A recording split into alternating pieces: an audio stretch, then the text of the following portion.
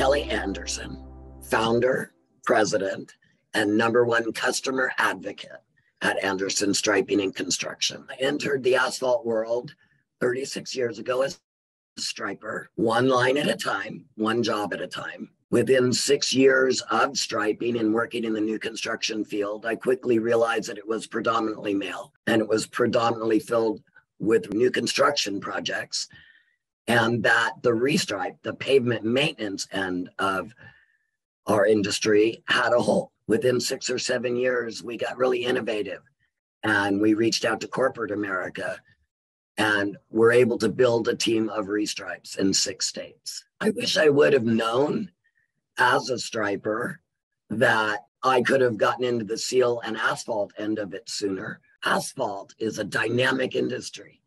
And as women who are trying to change and break the barriers of our industry, we need to stick together and work together. We need to shine a light and be together and raise the voices. We are stronger together. I think the future for Women of Asphalt looks very strong. The more light, the more exposure that we can shine on our industry, the more women will see of the career possibilities ways. There's so many ways a woman can get involved in the asphalt industry. At Anderson Striping, we do college, high school, trade shows.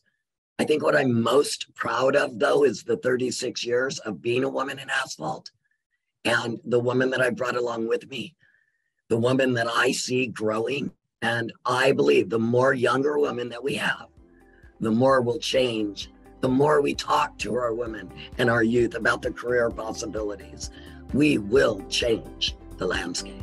The message that I'd like to leave for all women of asphalt, for all women of all industries, is to have that dream.